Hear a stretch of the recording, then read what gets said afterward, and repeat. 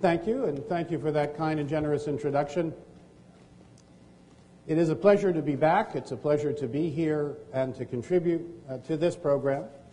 Um, those of you who were here at a previous meeting and heard a similar talk will have some deja vu all over again. And while some of the slides will be quite the same, there's more information, more support, and I hope a bit more clarity about how, in practice, you can use this for yourselves and for your staff. We're looking today at an old friend. The old friend is ascorbate, vitamin C. We're going to look at its use to effectively remove toxic minerals. And we'll also look at a subsidiary question, is ascorbate an antioxidant or a pro-oxidant in clinical practice in contrast and comparison to the test tube. It is different in the test tube than it is in the body. And for any of you who have schedules or want to do something else for the rest of the hour, the takeaway is that ascorbate can, when used properly, effectively remove toxic minerals. You can quantify how many micrograms of toxic mineral per gram of ascorbate can be mobilized and excreted when, but only when, sufficient ascorbate is present. Now, sufficient ascorbate is the amount needed to meet the oxidative stress needs of the cell without allowing free radical oxidative damage. It also means to have sufficient antioxidants that you have a very efficient flow of electrons from the membrane into the mitochondria to produce energy and to detoxify. So the reason that ascorbate has the widest range of physiologic amounts is because it has the widest range of half-life. We'll get into those details. Um, I uh, do want to remind myself to mention that I'm an equity holder in both ELISA Biotechnologies and PERC. Health Studies Collegium is the foundation that does much of our work, and as you can see by my fellow status, I'm easily bored. So our learning objectives today are to understand how to mobilize and safely excrete toxic minerals and their interactions and functions, and then is ascorbate an antioxidant or a pro-oxidant in practice. Ascorbate is uniquely able, this is a anticipatory slide, but ascorbate is uniquely able to complex, mobilize, and safely excrete toxic minerals. It can be used with other biological detoxification strategies, especially sulfur-rich foods, which we'll talk about, and it can be used with or without pulse D-penicillamine, uh, uh, uh, largely a subject for another time, but penicillamine is one of the chelators that can be used as a pulse agent to enhance and build upon biological detoxification. It's my impression that our outcome results uh, being favorable is largely a fact that we spend a good deal of time on the biological rebalancing and then add to that whatever other therapies are needed. So what about ascorbate? ascorbate is buffered vitamin C. That's the way it's found in food, and we only use the forms found in food. That's why we use ascorbate. We use the bioidentical forms, which means that you have vicinal hydroxyls. Two hydroxyls on the same side of adjacent carbons. That is unique in biology. Only ascorbate has that. L-ascorbate is the one with the vicinal hydroxyls. The D-ascorbate, the unnatural form, the form we don't recommend, uh, does not have the hydroxyls on the same side of the double bond. It is this molecular structure, uh, the strain on that chemical bond, that lowers the beneficial oxidation reduction potential and allows ascorbate to pick up the toxic metals, among other intoxicants, and remove them from the body without there being free radical generators. Now let's get into the details. What about ascorbate and divalent cations? The ascorbate with the vicinal hydroxyls it picks up lead, then mercury, then arsenic, then cadmium, nickel, beryllium, calcium, copper, manganese, and zinc. Uh, this is based on physical chemistry studies. Uh, the references uh, for what I say will generally be on the bottom of the slide, and I trust that in your handouts you have this. Uh, Kim and Rich Fisher deserve a terrific appreciation and maybe even applause uh, for putting together both a good syllabus and the program. Um, but let's get into some of the details. Uh, we want to use ascorbate to safely uh, detoxify toxic metals if they're present, but how much ascorbate do we need and what will the result be? If you take the math, and I'm going to go through this uh, briefly, but to hopefully clarify, If you take ascorbate at one gram, one gram, given that the molecular weight is about 200 uh, Daltons, you have 5 millimoles per gram of ascorbate. A gram is 1,000 milligrams or a million micrograms, and it can bind about 0.01%. That is, a 0.01% of the ascorbate, after it goes through all of its myriad reactions, will relate to toxic metal complexing and excretion.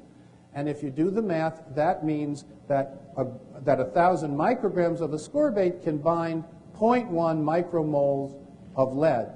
And if it's possible to turn down the air conditioning, I could hear myself, and maybe you can hear me a little better. Um, it'll also be better for the recording. Uh, so we want to bind uh, lead. We can bind 0.1 micromole of lead. That is 207.2 micrograms based on its weight times 0.1 micromole, or 20.7 micrograms of lead when you have enough ascorbate to do all the other jobs that ascorbate has and some more for the toxic metals. If we do the same kind of math, but with regard to mercury, different molecular weight, 20 micrograms, they're not going to be exactly the same number, but they'll be very similar across the toxic metals. So if we go back, we can see 20.7 for lead, we can see 20 for, uh, sorry, yeah, 20.7 for lead. And the next one, I think, has a typo. Yeah. Oh, I should point this in the right direction. Yes. here we're, yeah, here I, yeah, here I rounded it off. If you look at all the toxic metals, you get 20.7 micrograms of lead, 20 of mercury, 7.5 of arsenic, 11.2 of cadmium, 5.9 of nickel per gram of ascorbate. Now, if you had all of these present, you would need five grams of ascorbate to get that amount out of the range of them. Um, but when we have sufficient ascorbate based on calibration, we can use it to predict how much toxic metal we will safely complex, mobilize, and remove from the body. About 60% of that removal for most people is in the urine, 30% in the stool, 10% in the sweat. But people who are dehydrated will put more in the stool. It is important to have the prebiotic fibers to bind the toxins in the uh, GI tract uh, and to prevent enterohepatic uh, recirculation and reuptake. So the takeaway that I recommend for simple thinking in clinical practice and to have a little extra margin of safety is that about 10 micrograms of toxic metal, about 10 micrograms of toxic mineral, can be mobilized per gram of ascorbate when you're taking in the amount of ascorbate a person needs, and we'll get to how you find that out. It's based on calibration. So, if we wanted to mobilize 10 micrograms of toxic mineral in a gram of ascorbate, and we recognize that most Americans get about 20 micrograms per day of toxic mineral exposure, then our suggestion is a baseline of at least two grams a day to protect from the daily turnover. And if you have a body burden that's higher, then you would need more ascorbate because of the pro-oxidant free radical generating effects of any of the oxidative stress molecules. So in terms of daily toxic mineral exposure, about two grams a day can safely protect and excrete from the daily turnover. If you have more in the body or more exposure in the environment, then you would need more ascorbate. So the baseline from our point of view is about two grams a day just to keep even with the toxic metal exchange and more if you want to mobilize uh, the prior burden that's been bioaccumulated. This is all based on half-life. It is not important how much of a nutrient you give. It is important what the concentration or level of that is in the cells. And because ascorbate in healthy people has a half-life of about 30 days, and in unhealthy people has a half-life of about 30 minutes, it has the widest variance of half-life of any molecule in biology because it is also essential for more reactions than any other molecule in biology. So while half-life is always important, it is particularly important with ascorbate and we achieve the same concentration when we give more ascorbate to achieve, say, the predictive uh, dose because of that short half-life. So you may need 10 grams or 50 grams or 100 grams of ascorbate to achieve the same concentration in the cell. In one case, your half-life might be uh, 15 days. In another case, your half-life might be an hour or two. And then in the, in the extreme cases, even more variance. So the consumption rate, which is related to this half-life, gives us a good enough for clinical or government work approximation of the daily need to achieve the same cell plasma level. And I do point out that if someone is taking a large amount of ascorbate because they have a lot of oxidative stress and toxic minerals in their body, it is completely appropriate for them to take the amount they need based on calibration or your clinical experience because what you want is the concentration in the cell and if you're using up half in 30 minutes and another half in another 30 minutes, you will have used 75% of what you had an hour ago in an hour. But if you have a 30-day half-life, you can go for a day or two and you'll barely notice the difference. So really healthy people may only need a few grams of ascorbate a day, and finding really healthy people was so hard that when Hugh Riordan of blessed memory did it in Wichita, Kansas many years ago, in a year of advertising, they were not able to find more than 25 people in Wichita, Kansas who were A, healthy, that is asymptomatic by Cornell Medical Index, and B, would talk to them. Now, there may have been other healthy people in Wichita who just didn't respond. But in terms of those who were willing to respond, finding healthy people is roughly uh, as common as finding hen's teeth. Now I'm going to show a few slides in regard to this ascorbate to show you how different the different needs are. Some people need very little. Less than 4 grams is the amount to flush for about 5% of the population. About 1 in 20 people will have their first calibration on less than 4 grams a day. That's shown in this uh, pinkish arrow, and it's this column, the far left column. We're going to look now at, uh, at uh, the reinforcement of this. We had 3,497 people, 185 of whom, or about 5%, calibrated on less than 4 grams of ascorbate in the day. What about the rest of the people? The usual population calibrates on 5 to 10 grams, and that's about another 10% of the people. This is the typical or the ambulatory walking wounded population. In this case, same cohort, 10%, 348 people needed 5 to 10 grams to flush. That's shown with this arrow, and it's this bar, if you will, on the chart. 80% of the people are the ones with some free radical oxidative damage, and they calibrate between 10 and 130 grams. And if you're used to thinking in milligrams, 130 grams is 130,000 milligrams. And most people will say, 130,000 what? And you explain to them that your body is using this up really fast, or maybe, if you're in this situation, and you need the amount you need to achieve the same healthy cell concentration or cell level and that's why it's important to determine individually how much ascorbate is needed.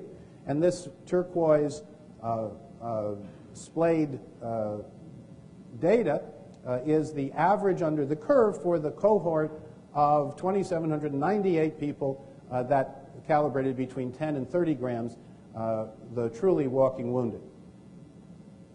So it covers a wide range, the 10 to 130 gram group.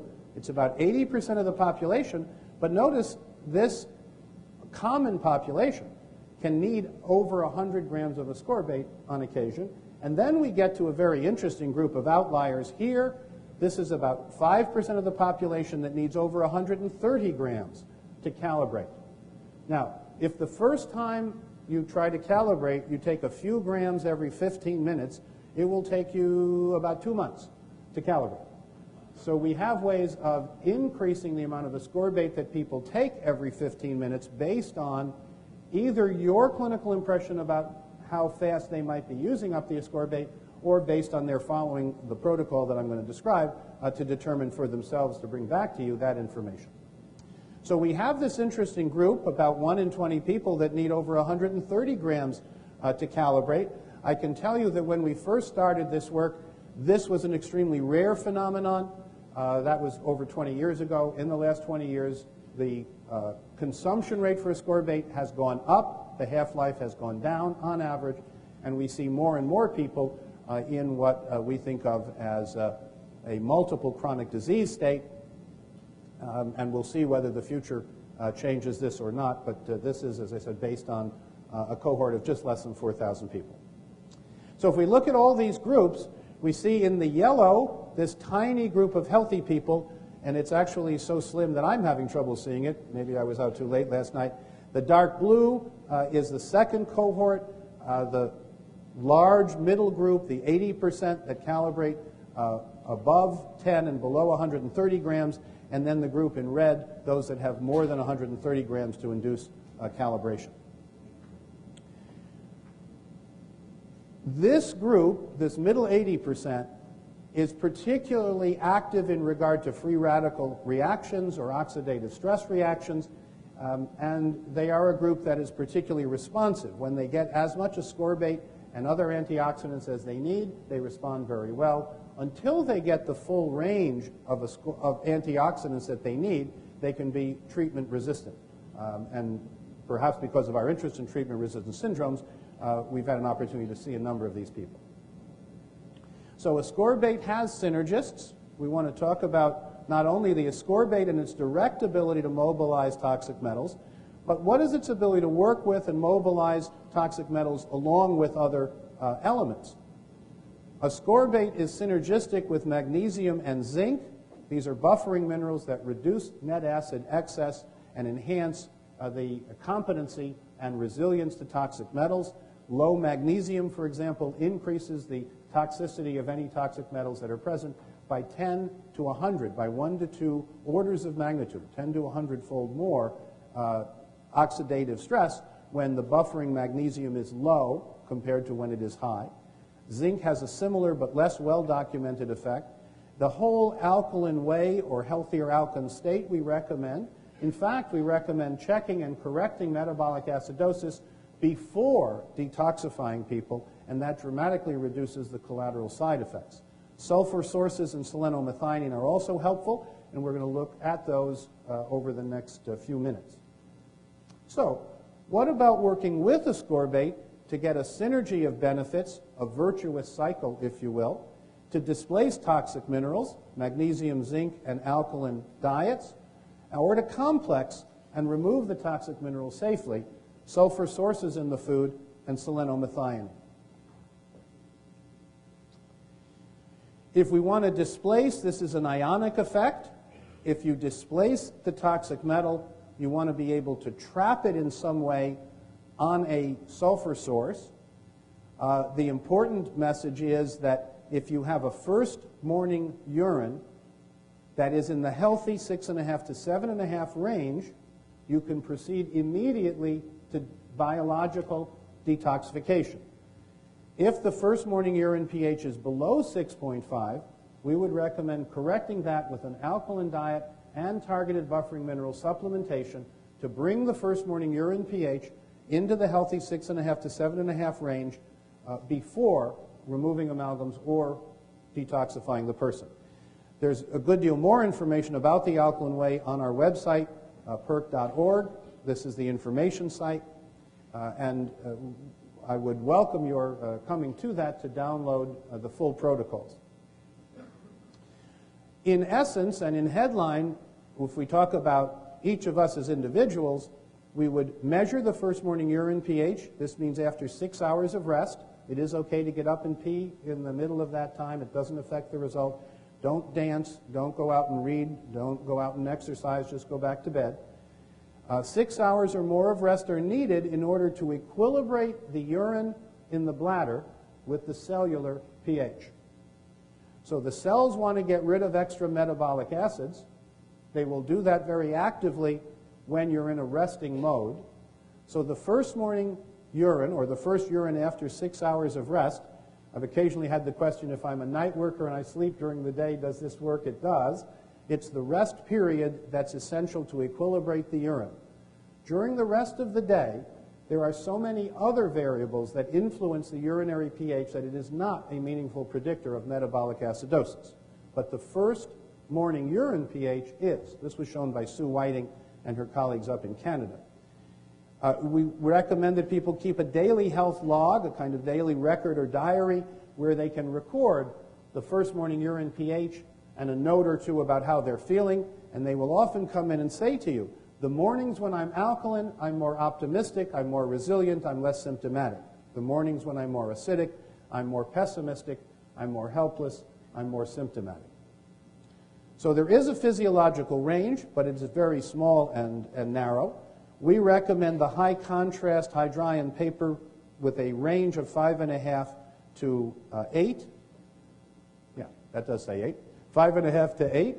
Um, and you take about two inches of that each morning. Uh, so a typical roll will have about 100 different tests, um, and uh, that makes it a very cost efficient way uh, of predicting metabolic acidosis and getting a therapeutic monitor uh, to help improve outcomes.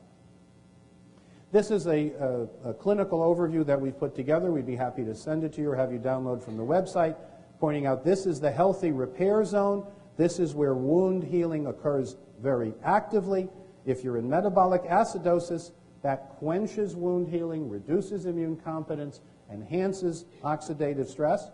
And on the other hand, if you're high consistently, that can be catabolic illness associated with surgery and other kinds of chronic stresses. This is a situation in which the body is cannibalizing itself, tearing down protein, and losing ammonia in the urine. That accounts for the high uh, excessive pH. Uh, if you have a net acid excess, then the first morning urine will be below six and a half.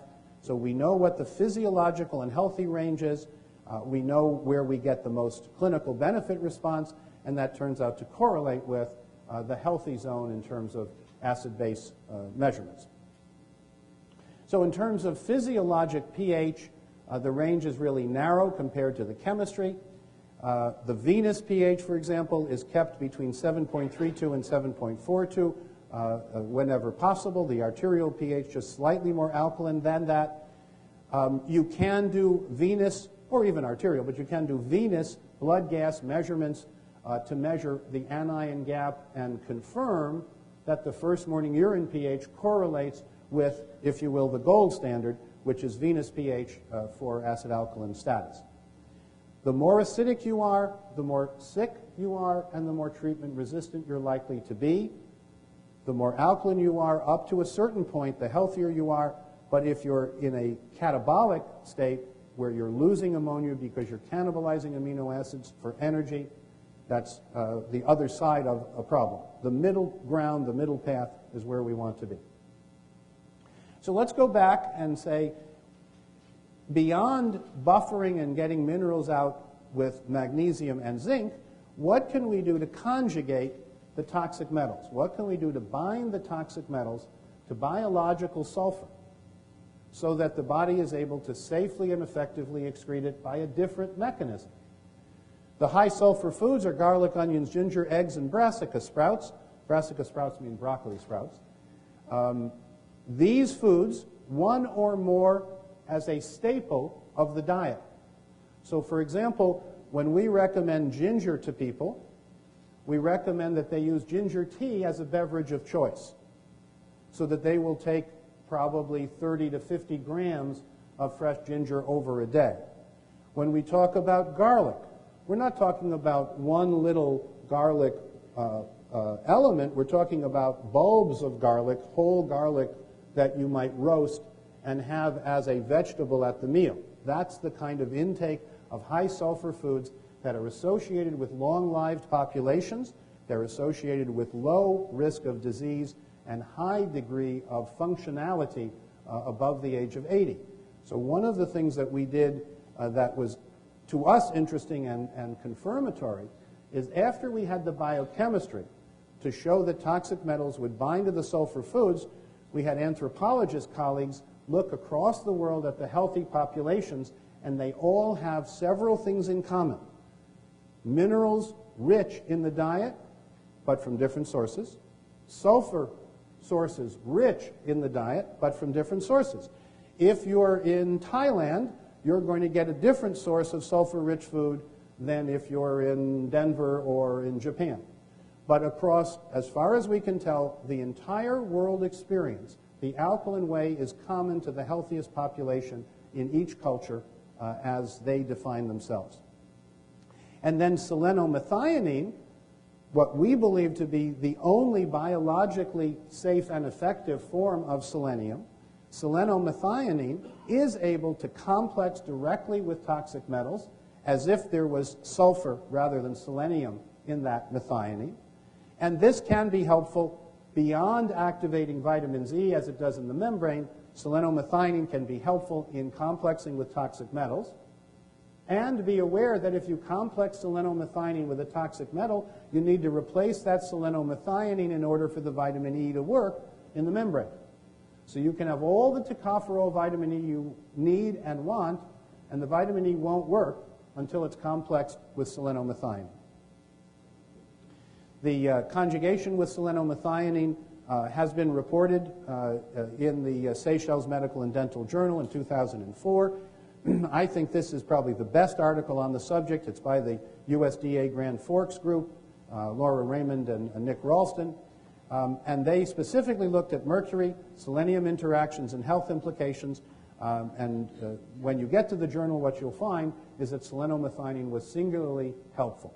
They did not test selenocysteine for any of you who uh, are interested in that. It wasn't, I think, available to them at the time.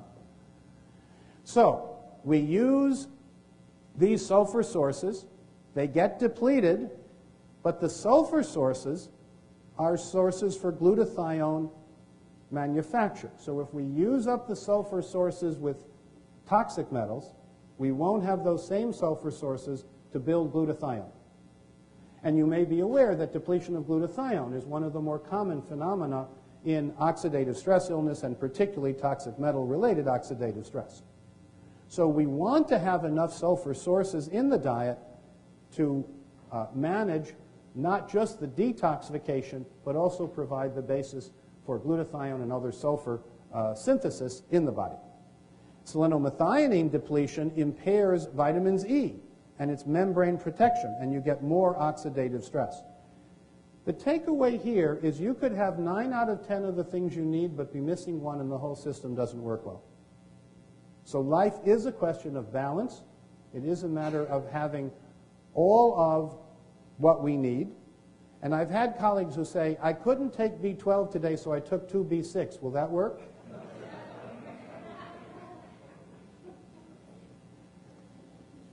now let's talk for a moment about innate protection. Healthy people make metallothionein, which is a biological sponge that soaks up toxic metals and prevents their adverse effects. In contrast, people under stress people who have oxidative damage or deficiency of antioxidants, people who are acidotic and therefore lack buffering minerals like magnesium and zinc, they will show magnified adverse effects of the toxic metals. So at a research level, metallothioneins are the protective endogenous, the intrinsic protective uh, toxic metal sink. The toxic metals get soaked up by the metallothionein, and the body doesn't get an adverse effect. But the metallothionein depends upon adequate magnesium and zinc. That means being alkaline. It depends upon sulfur amino acids like cysteine, because it's really glycine cysteine polypeptides. That's what metallothionein is. And in healthy people, we find abundant metallothioneins in the spinal fluid, in the blood, in the urine, they're different, but they're throughout the body. In contrast, when a person is in metabolic acidosis because of a lack of buffering minerals, when a person shows oxidative stress, TNF alpha goes up, interleukins go up, showing oxidative stress responses, that is a sure sign of antioxidant deficiency.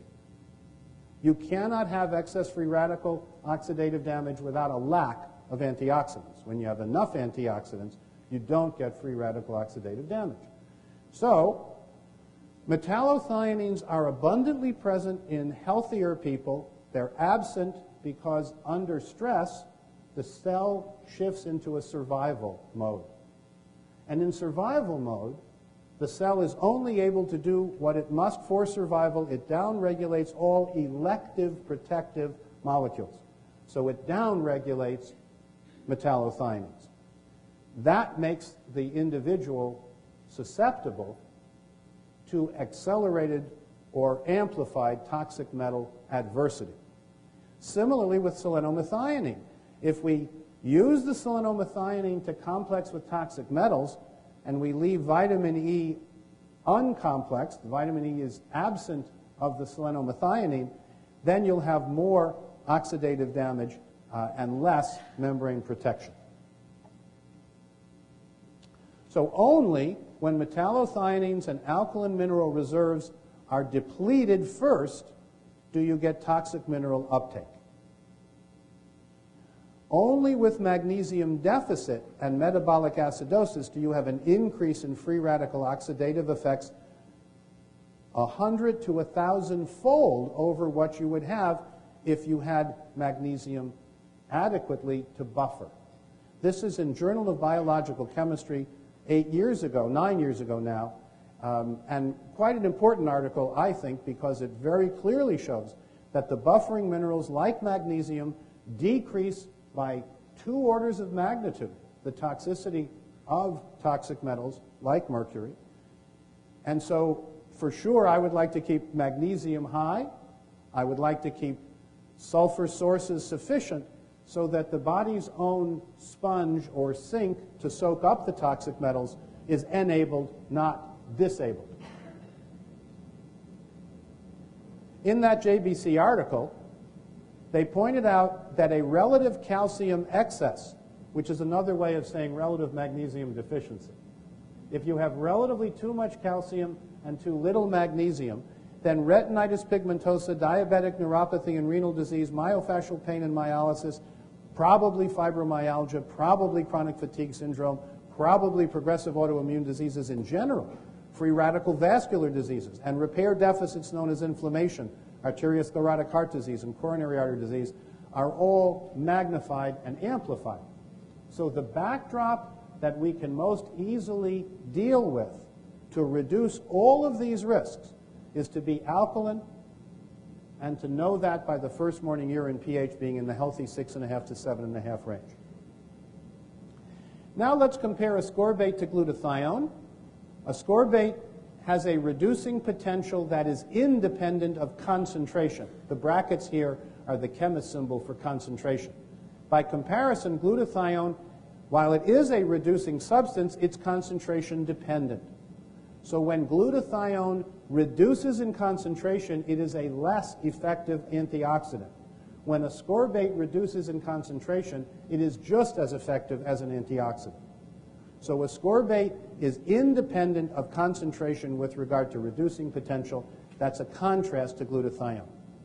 Ascorbate, in the stressed cell, there's an increased uptake of dehydroascorbate, this is dehydroascorbate, not to be confused with a certain fatty acid that will go nameless. The increased uptake in dehydroascorbate is facilitated by diffusion from inner and outer sources. This is in contrast to glutathione, where oxidative stress, the cell exports the disulfide of glutathione, and by exporting that disulfide, it reduces the sulfur pool and reduces the antioxidant capacity. The third point is that ascorbate and DHA are imported into the cell. DHA is rapidly re-reduced to ascorbate. Glutathione is not imported into cells. It is generally made de novo. It's synthesized inside the cell. Uh, and that uh, regeneration versus intracellular recycling uh, is, uh, is the issue. Again, let's compare. Red cells store ascorbate 30 times over plasma. So if your plasma is 1 milligram per deciliter, your adrenal level is 30, and all of your metabolically active cells take up the ascorbate and concentrate it 30-fold over plasma, which means a difference between 1 and 2 in the plasma level is a difference between 30 and 60 at the cellular level. That also tells that cells really like ascorbate. They can take up the ascorbate 30-fold over plasma without using a lot of energy to do that. It's a good trick. Ascorbate increases by oral intake, individualized calibration. It's hard to increase glutathione orally. There is potential for gut dysbiosis when you give oxidized forms of glutathione or impure forms of glutathione. Dehydroascorbate can generate glucose uh, and increase NADPH for glutathione production and anabolic pathways. In contrast, recycling glutathione complex is a multi-step. It consumes ATP uh, and therefore reduces the cell energy potential. Ascorbate is regenerated in mitochondria by three pathways. Glutathione is only regenerated in the cytosol and transported into the mitochondria. Exogenous ascorbate intake is facilitated by diffusion. Two molecules of ATP are needed for each molecule of glutathione formed, and two ATPs are needed for its degradation. So glutathione turnover, as important as it is for the cell, uses up ATP. Ascorbate turnover preserves or enhances both ATP availability and glutathione concentration. So glutathione and ascorbate mutually spare each other in reactions with the intracellular oxi uh, reactive oxygen species.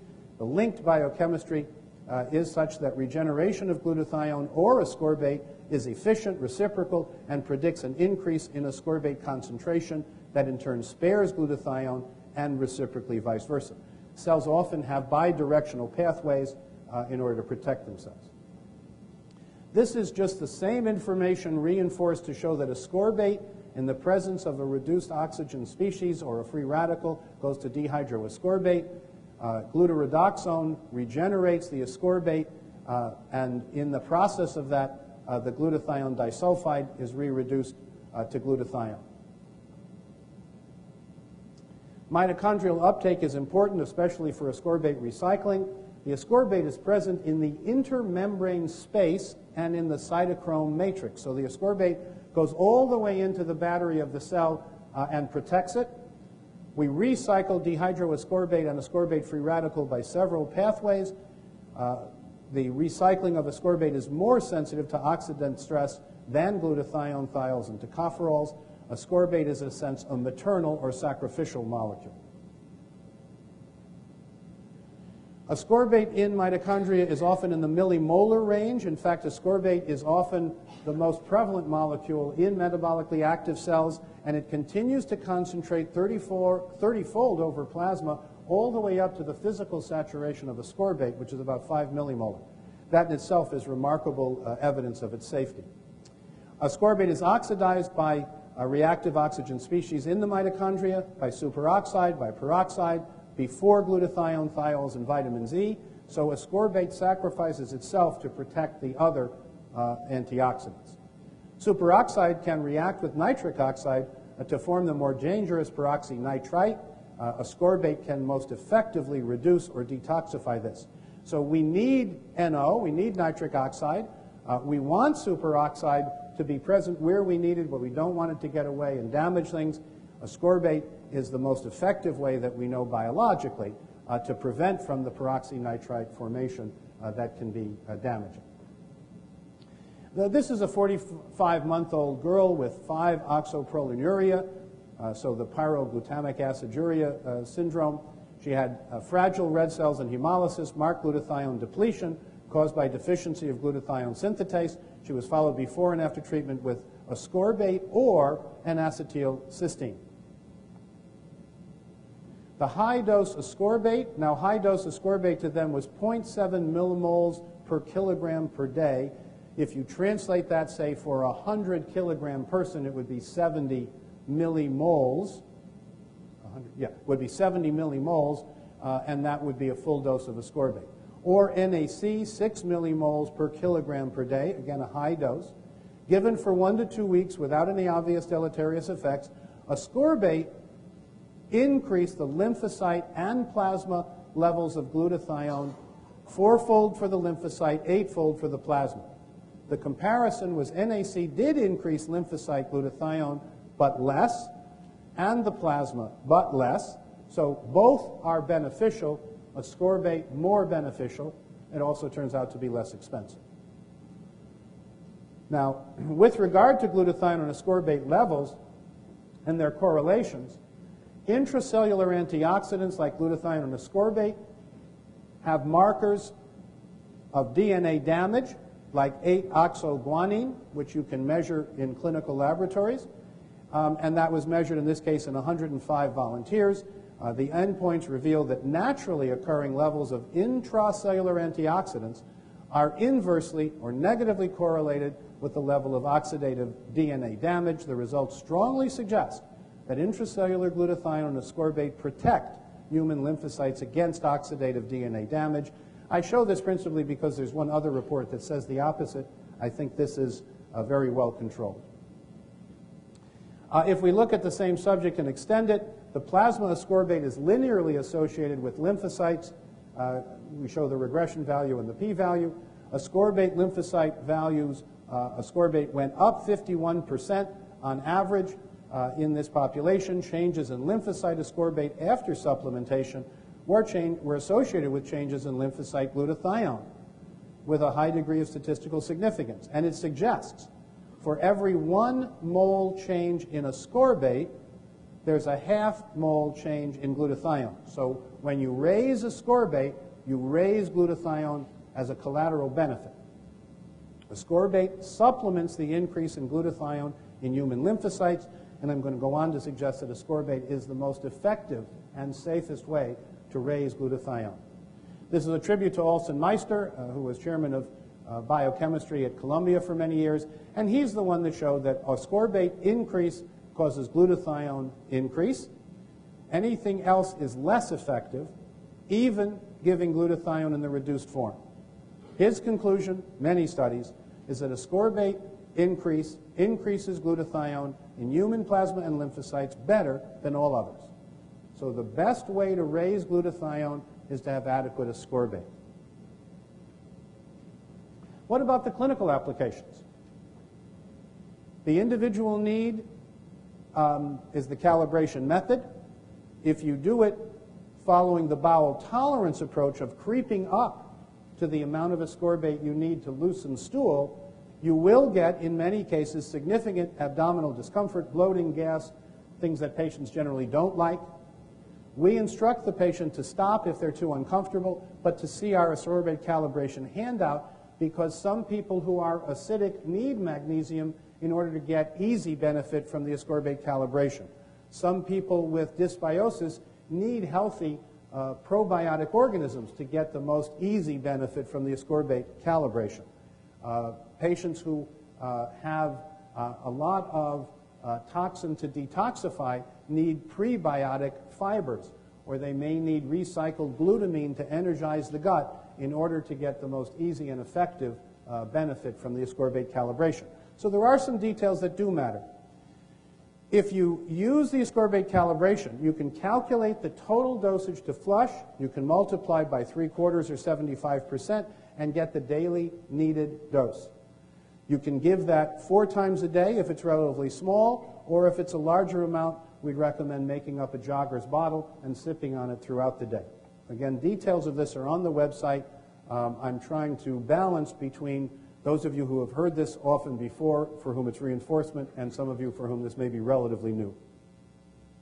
The option of starting with gradually increasing four times a day dosing if the patient is hesitant, has irritable bowel syndrome, or lacks trust is fine. We, however, have had a number of patients, some of them being uh, memorable, in that sense dramatic, uh, patients that were weeks away from surgery with ulcerative colitis who were able to do the ascorbate calibration when guided safely and effectively, and many of them able to avoid surgery. The mechanism is a bit complex, but we can go into the details uh, as desired. It is not seen in IV therapy, and it is not an osmotic effect. So if a person needs, say, 50 grams of ascorbate to calibrate orally, and for whatever reason you infuse 50 grams into their vein, they won't flush. And that's because the enterohepatic circulation is different than the systemic circulation, and we can talk about the details of that if you want, but they are different. It is not an osmotic effect. So if you give the ascorbate as hypotonic, isosmotic, or hypertonic uh, concentrations, you will get exactly the same amount to flush, and when you think about it more deeply, what you pour in at the top does not have enough time to get to the bottom, which is the transit time, in the time it takes to flush. So the ascorbate comes in through the mouth, is absorbed through the stomach, and the upper GI tract flows systemically to saturate all ascorbate needs throughout the body. And then when the cells have as much ascorbate as they need, the ascorbate is pumped into the rectum along with toxins and extra fluid because of the ATP activation of those cells, and it's the flush of the fluids and toxins that have been pumped into the rectum actively uh, that induces the actual flush. Uh, Jaffe, whoever that is, postulates that active, safer excretion of toxins is possible on the basis of this kind of presentation. Um, I used to talk about myself entirely in the third person, but I got tired of that. No danger of rebound. It is best, best however, to taper, uh, ramp up and taper down with this and most nutrients. And the details are in the ascorbate calibration protocol for those who would like them. So if we calibrate our ascorbate and meet the individual needs, it sets cell redox potential or electrical vitality. It protects and recycles. It traps free radicals. It mothers ATP. And if you learn enough about ATP, we'll start talking about AQP. Because not only is there a triphosphate, there's a quadraphosphate in really healthy people, and there's also PEP, phosphoenolpyruvate. One of the things I've learned as a biochemist is that once people catch on with what you're talking about, you can always talk about something even more detailed. Tocopherols protect the membrane when they have selenomethionine. Glutathione protects the cytosol. It's best raised by adequate ascorbate. Taurine protects the transport system, but taurine itself is recycled and regenerated by ascorbate, as is lipoic acid, which helps protect the nucleus and do other good things. Let's look at the details of this ascorbate calibration flush. In healthy people, we recommend a half a teaspoon, which is one and a half grams, half a teaspoon, and generally in two to eight doses, healthy people, more than 90% of them, will calibrate. What about people who are feeling poorly? Here we would start with one teaspoon or three grams, two to 10 doses, 90% of those people will calibrate. Remember, however, some of these people need much higher amounts to calibrate, and therefore you'll need to come back with even more, either a longer time or uh, a higher concentration. Chronically ill people, we would recommend starting at two grams, sorry, two teaspoons, which is six grams. So chronically ill people have a very short half-life. They need a lot of ascorbate, and it's okay to start with two teaspoons or six grams every 15 minutes. They're generally two to 10 doses. 75% of that population uh, will uh, calibrate. In all cells that are metabolically active, ascorbate is concentrated 30 times over the plasma concentration. I said that before, but it's worth reinforcing that a little bit of change in the plasma ascorbate level translates into a big change at the tissue level. Pro-oxidants induce free radicals that damage cell structures and age the cells antioxidants protect. Which is ascorbate and under what conditions? Well, ascorbate is an antioxidant. This is the reduced ascorbate. It's a free radical trap.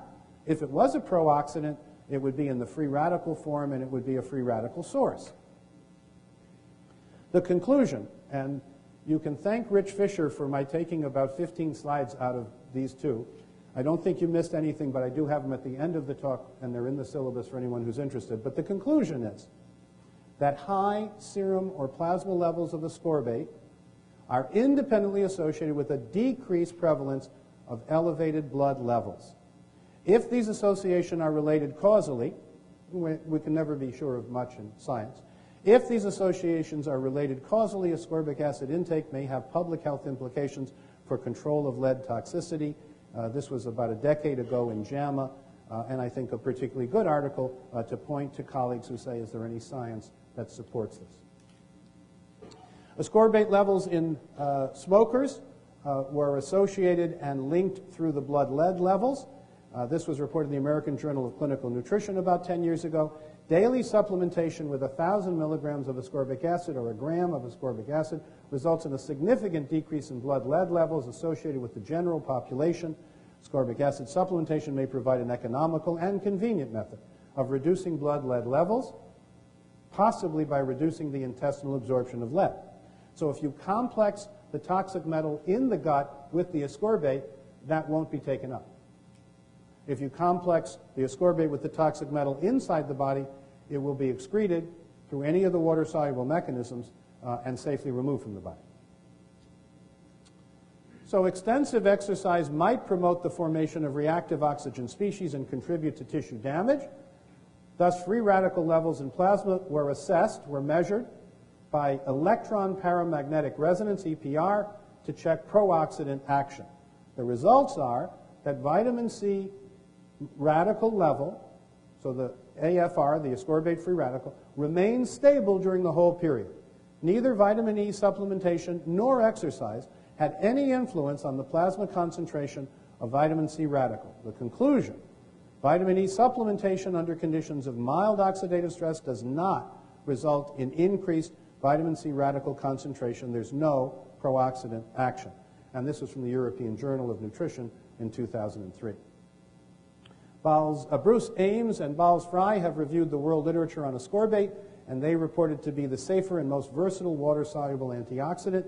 This means that adequate ascorbate can protect, directly and indirectly, every part of the cell and organ system from free radical damage. It can't, however, protect from ignorance.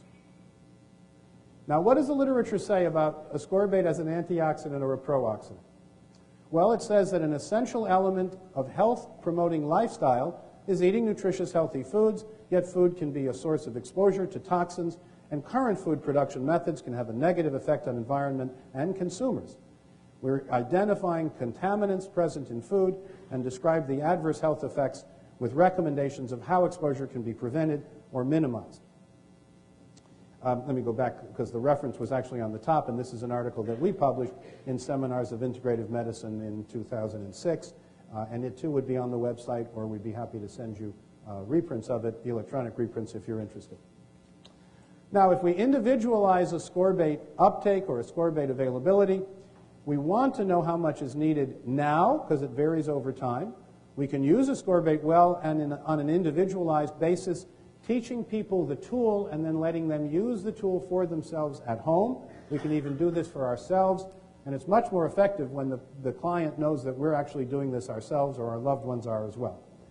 Ascorbate Szent-Györgyi, uh, who isolated ascorbate from Hungarian paprika, considered it a life-giving molecule. This is his 1932 uh, article, uh, the first page in a reprint.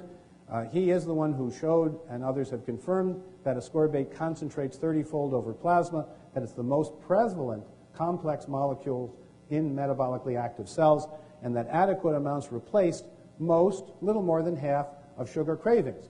So if you know anyone that has hypoglycemia symptoms, ask them to calibrate their ascorbate, and a little more than half the time, the hypoglycemia will go away because the body is hungry for ascorbate that other species can make out of glucose, and the uh, clinical uh, manifestation is the hypoglycemic symptoms, not because blood sugar is low, but because ascorbate is low. And when you give the ascorbate as needed, the hypoglycemic symptoms go away. What about acute, musculoskeletal pain? Here we want to mobilize the dendritic cells. The dendritic cells are your first responder cells. They're the cells responsible for primary defense and repair. And here we recommend two flavonoid flavonol capsules every 15 minutes until you're comfortable for one hour. Then two per hour while awake for two days, four twice daily maintenance for three months to consolidate the improvement. This rapid use of safe polyphenols, safe flavonoids and flavanols, has, for example, taken patients who were uh, in asthmatic status. In one case, a woman had called the EMTs to take her to the hospital. Then she called her doctor, who suggested this. By the time the EMTs came, she had taken two doses and was better enough that they watched her for 45 minutes while she took another three doses, and then she was fine and sent the EMTs home. Another case, I got called two or three weeks ago on Thursday because a woman was sitting on the edge of her bed trying to decide if she should go to the hospital because of her asthma, and would I talk to her? This is someone I had never spoken to before. I said, no, I think she should go to the hospital, and when they take care of her, then I'll be happy to talk to her. I'm a prevention doctor, not a treatment doctor. She says, Would you please talk to her? She won't go anywhere. In five minutes, the woman convinced me that she knew what was going on, and at the end, she said, And no doctor ever listens to me, but if any doctor ever did, I would be just fine. I said, May I paraphrase back what you just said? She says, Yes. And I just repeated back what she had said, and she said, You're listening to me. I can trust you. That night, having followed this approach, she went out dancing. And because she is the first lady of Samoa, married to the governor of Samoa, I got a whole commendation from the first lady or from the governor of Samoa. So sometimes you get unexpected benefits. Sometimes you get unexpected uh, hassles, but sometimes you get unexpected benefits. So if we want to activate these dendritic first-line repair cells, we might take four of these flavonoid flavanol uh, tabsules with each meal and before bed until we're comfortable for a week, and then four twice a day for maintenance. This is for chronic musculoskeletal pain, whereas the other recommendation was for acute musculoskeletal pain. So in the acute situation, we want to get a lot of these polyphenols in to activate and keep those dendritic cells moving. When my son was in either middle school or beginning high school, middle school, uh, he was playing baseball, and it was widely known that when my son got injured, he took this flavonoid flavanol combination and ascorbate. A friend of his, a teammate friend of his, was hit by a bat. This happens a lot at that age. Sometimes they hit themselves, sometimes someone else hits them. But the child was hit by a bat, goes off to the side to kind of regroup, and the swelling came up in his eye so fast that you could see the eye close because of the swelling.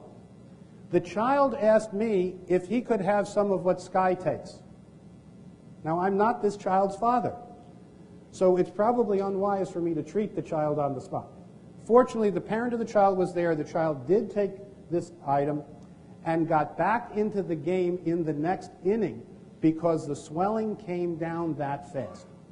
When you see those cases happen, you're totally convinced that activating the dendritic cells, the first line repair cells, is a really good thing to do, and that all too often they just are depleted in their energetics. They're intoxicated because of toxic metals. They are acidotic and lacking in antioxidants, and they just don't work right, leading to the inflammation, which is really repair deficit that we see.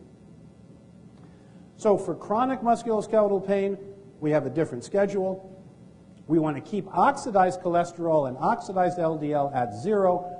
We want to prevent them from forming. Tocopherols and tocotrienols, 400 to 3600 IU of all different forms, all eight forms, and selenomethionine, 0.2 to 1 milligram a day, uh, are effective at this approach. Uh, this was pioneered by the Shute brothers up in Canada uh, and confirmed by others.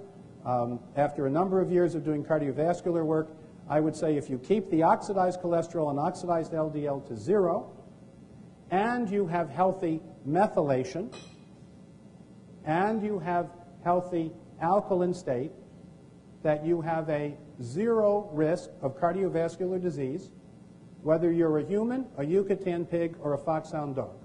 If you want to know about your cat, I can't tell you. But I can tell you a lot about Yucatan pigs and foxhound dogs and how that relates to people. And the takeaway message is keep the oxidation from happening, keep the antioxidant status high, and you reduce one major piece of cardiovascular risk. The second piece has to do with healthy methylation, keep the homocysteine less than 6. And the third piece has to do with pH, making sure that the metabolic acidosis or catabolic illness have been corrected. What about ascorbate safety? Does ascorbate cause oxalate kidney stone formation? No, no, no, and no. And if you want to know my answer, it's still no. Is B12 consumed by ascorbate? No, no, no, and no. Is a Fenton reaction happening in people? No, no, no, and no. It happens in the test tube. There is a Fenton reaction in which iron and ascorbate interact through a free radical mechanism in a test tube, and it's called the Fenton reaction because Professor Fenton described it. If his name was Schwartz, it would be called the Schwartz reaction. This does not happen in the body. It only happens in the test tube. It's been tested at femtosecond speed. It, Fenton reactions don't happen in the body. The reason I know this is because the gold standard for treatment of hemochromatosis and hemosiderosis, according to the FDA monograph, is ascorbate, including parenteral ascorbate. If hemosiderosis and hemochromatosis people were subject to Fenton reactions and you gave them ascorbate by vein, you would, let me see, kill them. Since they're alive and do better, and the iron is reduced from ferric to ferrous and easily mobilized and excreted, reducing the excess iron in the body safely, we can conclude that because the patient survived, the Fenton reaction didn't occur in the body. Good hydration is always recommended, and that is the principal therapy for stone risk of all kinds, including oxalate. If you want to know right now whether you are well hydrated, take your palm and turn it over, pinch the skin on the back of your palm, and let it go. It should go flat within one one second. If it slowly or takes more than one second to flatten out, have a drink of water. L'chaim. B12 consumption in vitro, there may be some reason for concern, not in vivo. The Fenton reaction, yes, in vitro, but not in vivo. Details, details, details. Details that make ascorbate more effective. Well, people need enough to fill their ascorbate needs. That's why we developed the calibration protocol. Fully reduced ascorbate is better. Fully buffered ascorbate is better. Ascorbate without masking agents is better. All L ascorbate, not DL. All L ascorbate is better. The people who say, I tried ascorbate, it causes me uh, discomfort in the gut, are people who are taking synthetic DL ascorbate the D-ascorbate builds up in the gut and can be irritating. It's never recommended. So we want to restore homeostasis in practice. We want to restore homeostasis for sustained and enhanced well-being. And Albertson Szent-Györgyi pointed out that leaving the jungle, we lost our ability to make ascorbate. Modern science and technology made it possible to live in full health outside of the jungle, offering ascorbate for one and a half cents a gram to take full advantage of this, ascorbate should be a household article, like sugar or flour, and be sold by the pound in the supermarket instead of sold in pills by the druggist. Szent-Györgyi pointed out if you have a sugar bowl on your table, you should have an ascorbate bowl on the table and use equal numbers of teaspoons.